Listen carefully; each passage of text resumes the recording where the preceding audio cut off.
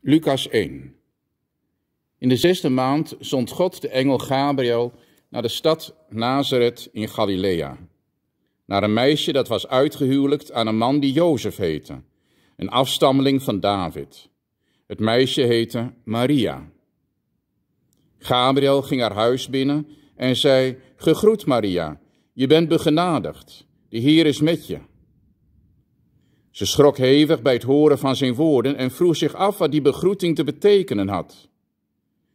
Maar de engel zei tegen haar: Wees niet bang, Maria, God heeft je zijn gunst geschonken. Luister, je zult zwanger worden en een zoon baren, en je moet hem Jezus noemen. Hij zal een groot man worden en zoon van de Allerhoogste worden genoemd. En God, die hier, zal hem de troon van zijn vader David geven. Tot in eeuwigheid zal hij koning zijn over het volk van Jacob, en aan zijn koningschap zal geen einde komen. Maria vroeg aan de engel, hoe zal dat gebeuren? Ik heb immers nog nooit gemeenschap met een man gehad.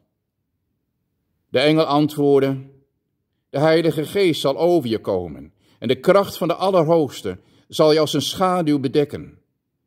Daarom zal het kind dat geboren wordt heilig worden genoemd en zoon van God. Luister, ook je familielid Elisabeth is zwanger van een zoon, ondanks haar hoge leeftijd.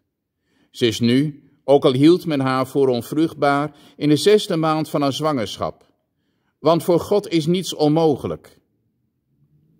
Maria zei, de Heer wil ik dienen. Laat met mij gebeuren wat u hebt gezegd. Daarna liet de engel haar weer alleen. Amen.